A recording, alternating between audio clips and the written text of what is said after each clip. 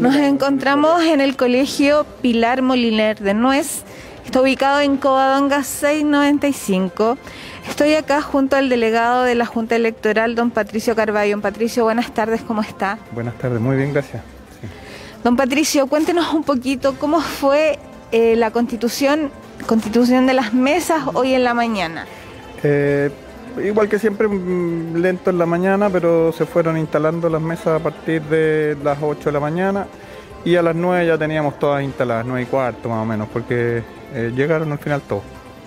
Don Patricio, eh, ¿cuántas mesas son las que están acá en este colegio? 18 mesas, de la 164M a la 181.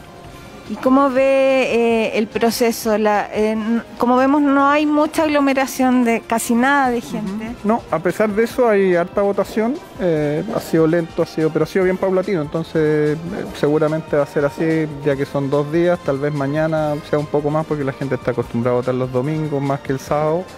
Y, estando la alternativa de votar mañana, seguramente mucha gente va a preferir eso. Mm. Hoy en la mañana. ¿Había eh, personas ya esperando que se abriera el colegio o no? No, no, en general fue bien paulatino. No, no hubo aglomeración, ni, ni siquiera la vio ahora en el, en el exterior del colegio, así que estaba todo, todo muy bien, muy bien llegado, de a poco. Mm.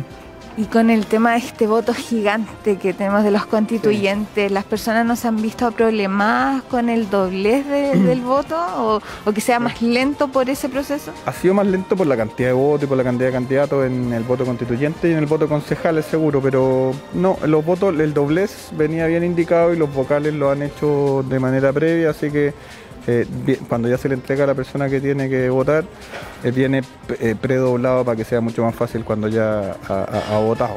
Mm. Y contemplando que tal vez mañana sea el pic de que, los votantes vengan acá al colegio, el tema del aforo, ¿cómo va a ser? El aforo establecido es, de, en este colegio en particular, de 180 personas, 10, aproximadamente 10 por cada mesa y son 18 mesas. Y si es que hubiese más gente que eso, se hace, eh, se organiza afuera para que puedan esperar en la calle y entrar después al colegio a medida que se van desocupando las mesas. La, vez del plebiscito ya, que hubo mucha votación, fue bien organizado y no hubo grandes congestiones afuera, así que debiera ser igual mañana.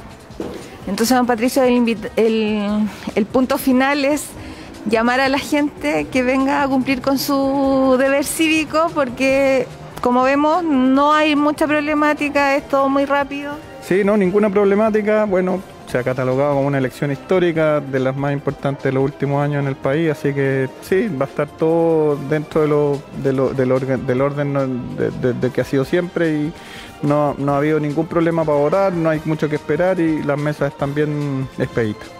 Muchísimas gracias, don Patricio. Invitamos a nuestras vecinas y vecinos entonces que nos sigan a través de nuestras redes sociales y, como ya lo dijimos, que se acerquen al colegio de votación porque no hay mayor inconveniente, las mesas están desocupadas relativamente y el proceso es rápido.